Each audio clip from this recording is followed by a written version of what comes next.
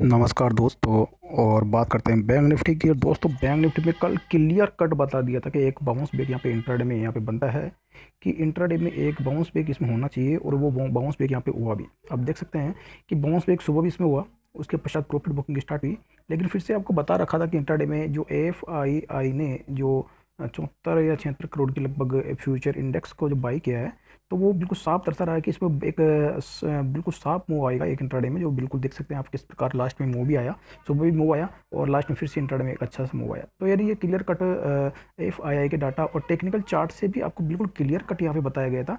जिस प्रकार यहाँ पे मैं टेक्निकल चार्ट को अगर मैं वन डे पर लगाऊँ तो आपको यहाँ पे एक बाउंस बैक की उम्मीद यहाँ पे लगाई गई थी कि यहाँ पे एक बाउंस बैक यहाँ पे बनता है। क्योंकि इसका जो चार्ट जो बोल रहा था, ठीक है?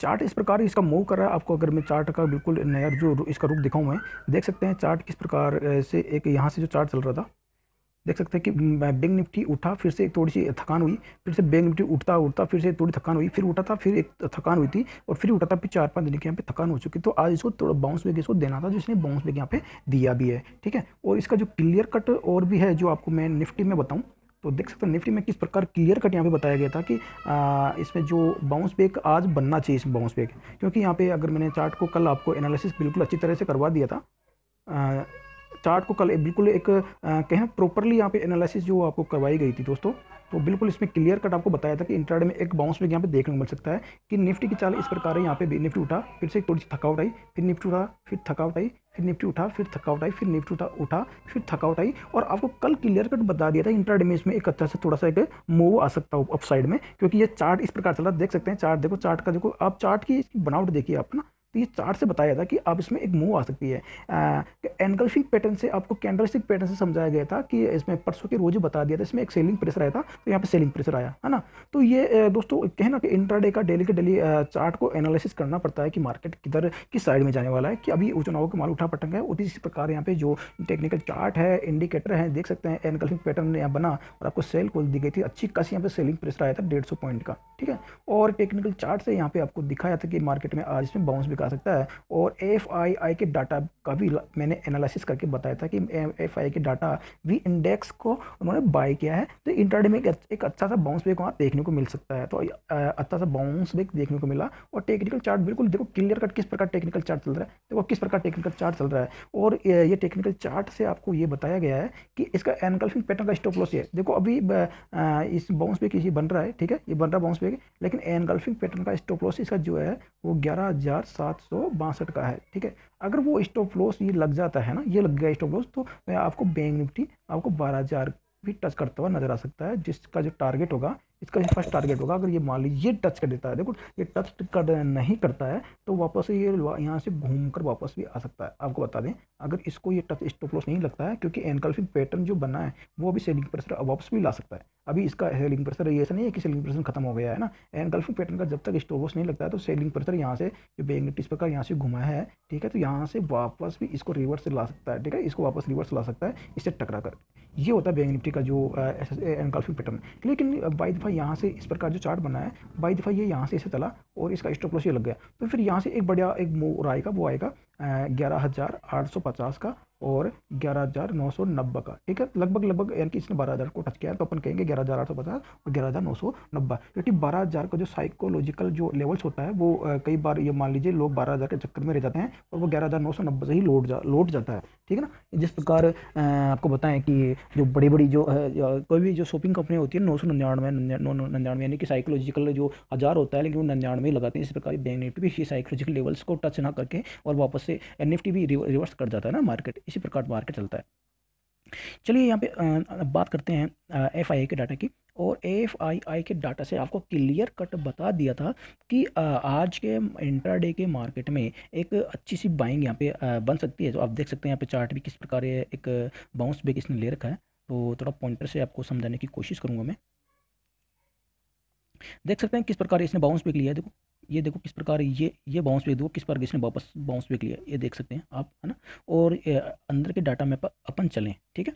अंदर के डाटा में और इसमें मैंने निफ्टी के टारगेट भी आपको दे दिया, है ना? कि निफ्टी के टारगेट मैंने बताया ग्यारह हज़ार छः सौ और इकसठ को जैसे निफ्टी ब्रेक करेगा तो निफ्टी ग्यारह हज़ार सात सौ तक के लेवल्स टच करेगा और उस समय उसका उसका स्टॉप लॉस होगा, यानी कि कल का जो क्लोजिंग है। जो अब जो है ग्यारह हज़ार पाँच सौ अठानवे तो आप देख सकते हैं स्टॉप लॉस नहीं लगाया है ग्यारह हज़ार छः सौ पाँच से ही वापस निफ्टी लूट चुका है और इसने ग्यारह हज़ार सात सौ तक के लेवल से इसने टच किए हैं ना तो बिल्कुल क्लियर कट यहाँ पे आपको बता दिया गया था।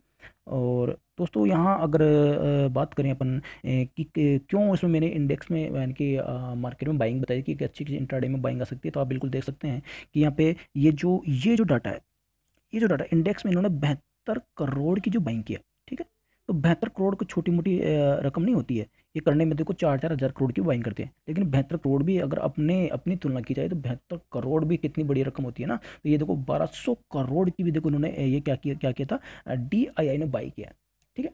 तो ये इफ़ेक्ट पड़ा क्योंकि एफ़ आई ने सेलिंग कितनी सी की मात्र? दो सौ छब्बीस करोड़ की। और डी आई आई ने बाई कितनी की है? बारह सौ करोड़ की। तो ओवरऑल देखा जाए तो केस मार्केट यानी केस की मार्केट में हज़ार करोड़ की तो बाइंग हुई है। ठीक है? उसके पश्चात यहाँ और आपको बताएँ कि देखो हज़ार करोड़ की तो केस में बाइंग होगी दोनों को मिला के, ठीक है?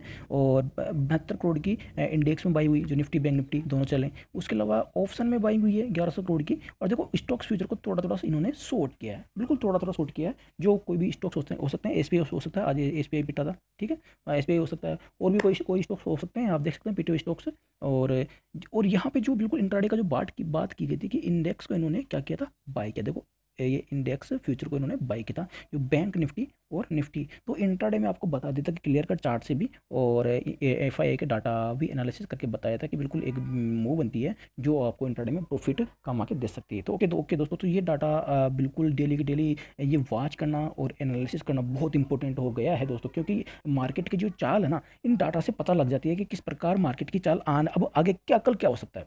ठीक है? तो इसकी चार्ट के लिए देखो, सबसे पहले अभी जो टेक्निकल चार्ट है, इसका तो मैं आपको भी वाच करके बता देता हूँ। लेकिन एफ़ आई आई के जो डाटा होते हैं, वो आते हैं लगभग सात पी एम पे ना। सात पी एम पे आएँगे, उसके बाद साथ में एफ़ आई के डाटा का एनालिसिस करके आपको बताऊँगा मार्केट की देखो, चाल अपन पकड़ेंगे किस प्रकार मार्केट की चाल यहाँ पे कल रह सकती है। तो एफ़ आई के डाटा आने दीजिए, कहाँ इन्होंने बाइंग की है, कहाँ सेलिंग की है, कहाँ बाई की है, कहाँ सेलिंग की वो आपको क्लियर कट आपको सेवन पी एम पे आपको बता दिया जाएगा मार्केट की चाल उसी अनुसार आपको बता दी जाएगी ना। तो ये दोस्तों बहुत इंपॉर्टेंट हो गया आजकल, क्योंकि एफ़ आई के डाटा और डी आई के डाटा का एनालिसिस करना बहुत इंपॉर्टेंट हो गया उन्हीं के अनुसार मार्केट की चाल चल रही है। तो टेक्निकल चार्ट पे चलते हैं, और टेक्निकल चार्ट से यहाँ पे जो बात करें, देखो आपको बता दें, यहाँ पे क्लियर कट मार्केट में जो इसका जो लेवल्स है मार्केट का, कि मार्केट किस रेंज में रह सकता है कल, और कहाँ, किस रेंज को तोड़ने के पश्चात मार्केट ऊपर या नीचे निकलेगा, आपको बता दें।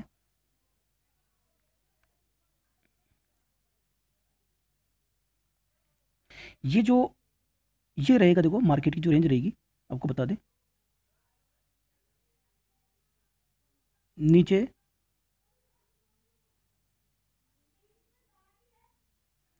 ग्यारह हज़ार छः सौ पचास, है ना? ग्यारह हज़ार छः सौ पचास। ग्यारह हज़ार छः सौ पचास नीचे, ये सपोर्ट के रूप में कार्य करेगा। और ऊपर ऊपर आपको बता दें।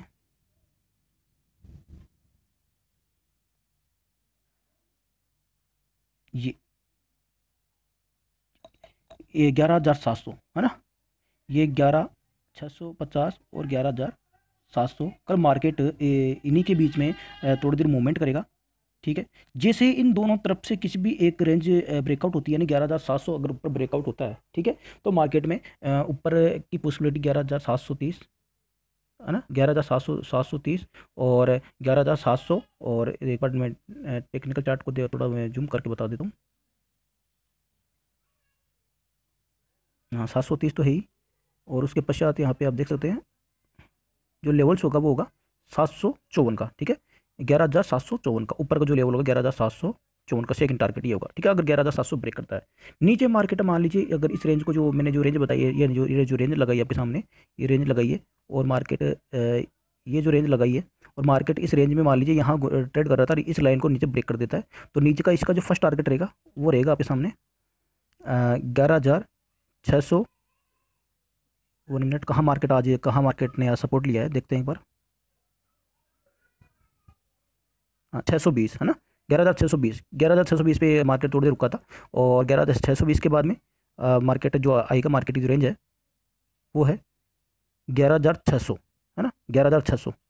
ग्यारह हज़ार छः सौ और ग्यारह हज़ार छः सौ मार्केट टूटता है तो मार्केट फिर क्लियर कट है मार्केट फिर ग्यारह हज़ार पाँच सौ सत्तर तक मार्केट की पॉसिबिलिटी है। देखो, ये जो रेंज है, बिल्कुल क्लियर कट बता दिया गया है कि मार्केट अगर कल जो इस, ये जो रेंज मैंने जो बनाई है, ये दो रेंज बनाई है मार्केट इसी के बीच में सुबह सुबह इसी इसी के बीच में बीच में रहने की पॉसिबिलिटी है। लेकिन मान लीजिए गैप अप में ये रेंज टूट जाती है ना है ना तो मार्केट की फिर आपको जो टारगेट बताए गए ऊपर सा, ग्यारह सात सौ तीस और ग्यारह सात सौ चौवन, ग्यारह सात सौ सात सौ चौवन का जो टारगेट है, वो आपको यहाँ पे ऊपर मिल सकते हैं। और नीचे मान लीजिए वापस ये नीचे आ जाता मार्केट इसी रेंज में फंसता हुआ नज़र आएगा। और वापस नीचे इसको ग्यारह हज़ार छः सौ पचास को मार्केट निकल देता है हमारा मार्केट ग्यारह हज़ार छः सौ बीस और मार्केट ग्यारह हज़ार छः सौ और ग्यारह हज़ार छः सौ को फिर ब्रेक करता है। फिर ग्यारह हज़ार छः सौ नीचे और ब्रेक करता है मार्केट ग्यारह हज़ार पाँच सौ सत्तर तक के टारगेट आपको दिखा सकता है। ओके दोस्तों, ये टेक्निकल चार्ट से हैं। बाकी और कुछ फेर बदल होगा।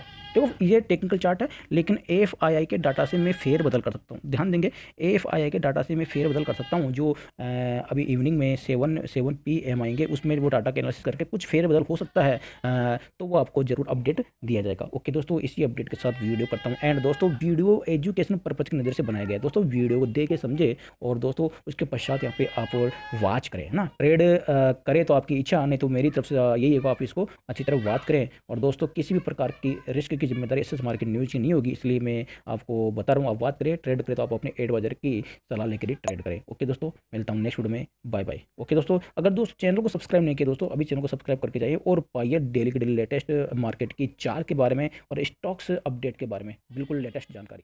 Thank you. Bye bye